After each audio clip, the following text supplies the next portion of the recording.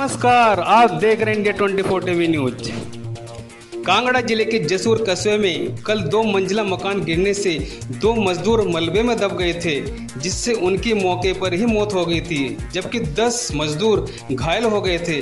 आसपास के लोगों ने बताया कि कुछ मजदूर एक मकान के बेसमेंट की खुदाई कर रहे थे, कि मकान का मलबा मजदूरों के ऊपर जा गिरा, जिससे वो मलबे में दब गए।